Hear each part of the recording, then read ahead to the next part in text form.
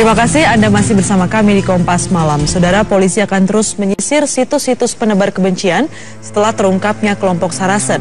Sementara itu terkait penangkapan tersangka berinisial MAH, polisi memastikan yang bersangkutan memiliki kedekatan dengan Jasriyadi, pimpinan kelompok Sarasen yang telah ditangkap sebelumnya. Penyidik memastikan MAH yang telah menjadi tersangka dalam kasus penyebaran kebencian di media sosial memiliki kedekatan dengan Jasriyadi, pemimpin kelompok Sarasen. Polisi mengatakan dalam kesehariannya kegiatan keduanya tidak terlalu mendapat sorotan warga. Setelah kelompok Sarasen ini terungkap, polisi kini terus melakukan pengawasan terhadap situs yang menyebarkan kebencian dan berita bohong. Pemeriksaan kini juga dilakukan terhadap sejumlah rekening yang digunakan oleh Sarasen. Sama juga dengan lain dia upload daripada keterangannya itu. Anak buahnya Jas juga. Aliran dana sendiri Pak, kan PPTK belum eh, aliran rekening dari Sarsan seperti apa Pak? Sudah ada Masih bukti? masih masih masih kita minta dari PPATK juga. Nah, Kita masih tracing lagi. Ya, perkembangannya. Saudara kasus ujaran kebencian via media sosial kini ditanggapi serius oleh Mabes Polri. Wakapolri Syafruddin menyatakan penyidik saat ini turut mencari sejumlah kelompok penyebar ujaran kebencian selain Sarasen. sampaikan kemarin bahwa eh, kelompok Saracen sedang ditangani sudah dikembangkan ditangkap lagi satu orang ya tapi saya yakin dan kita yakin ya kita akan kembangkan terus kita akan investigasi terus ada kelompok-kelompok lain selain Saracen yang sedang diinvestigasi. Pengurus DPP Partai Keadilan Sejahtera membantah kabar yang menyebutkan bahwa salah seorang tersangka penyebar kebencian dalam kelompok Sarasen berinisial MAH adalah kader partai itu.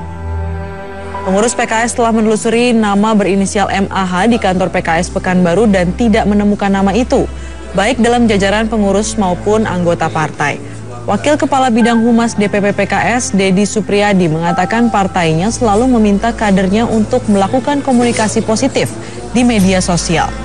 PKS akan memberikan sanksi bagi kadernya yang melakukan komunikasi negatif di media sosial. Kami sudah telusuri ya di kan itu di Pekanbaru Riau ya.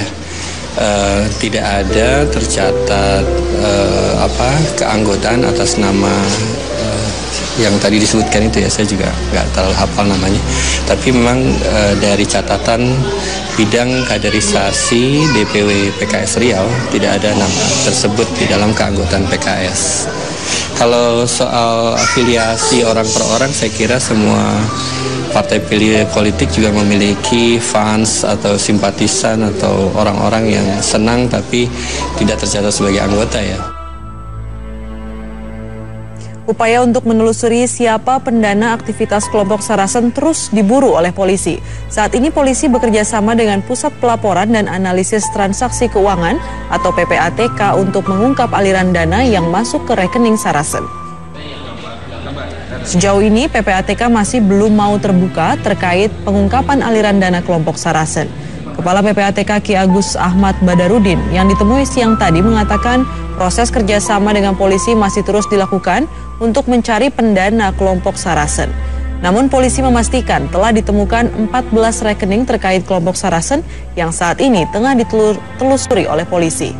Mereka juga telah meminta ke-14 rekening ini untuk diblokir. dan lagi pihak kepolisian sedang mengembangkan penyelidikan dan penyidikannya. Jadi kita belum belum apa eh, tidak mengganggu proses pengembangan penyidikan itu aja dulu ya. Saudara pegiat media sosial dengan akun John Ruginting yang dilaporkan ke polisi dengan tuduhan ujaran kebencian menunjuk tim pengacara. Salah satunya adalah pengacara kasus pra-peradilan perwira tinggi Polri Jenderal Budi Gunawan, Rasman Nasution. Dikutip dari laman detik.com berjudul Dipolisikan, John Ru Ginting tunjuk Rasman Nasution jadi pengacara, diperlihatkan surat kuasa John Ru untuk Rasman Nasution dan kawan-kawan.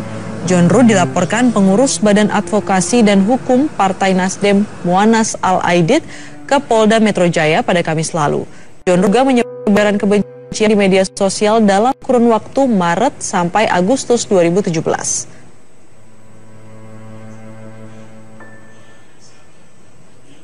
Terlapor kasus sengketa di Tulung Agung Jawa Timur, Sutrisno membantah telah melakukan pemalsuan berkas seperti ditudingkan Kodam 5 Brawijaya. Sebelum pihak Kodam 5 Brawijaya melaporkan Sutrisno dan pengacara Egi Sujana ke Polres Tulung Agung. Di lokasi lahan inilah yang menjadi sengketa antara warga dengan TNI di Kabupaten Tulung Agung.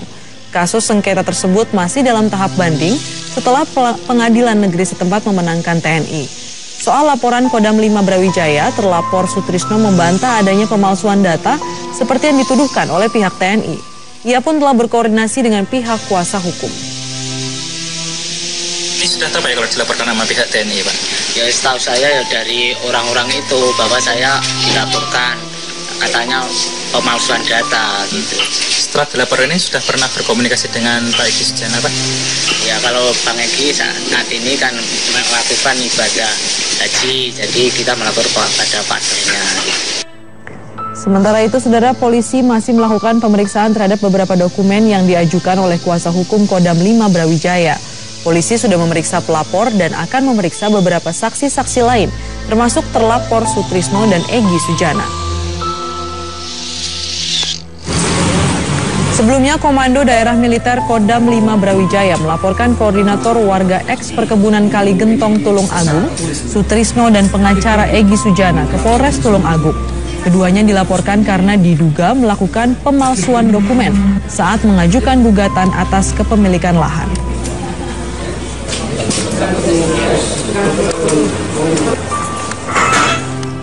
Saudara Presiden dan Wakil Presiden menjadi saksi akad nikah anak Kepala BNN Komjen Budi Waseso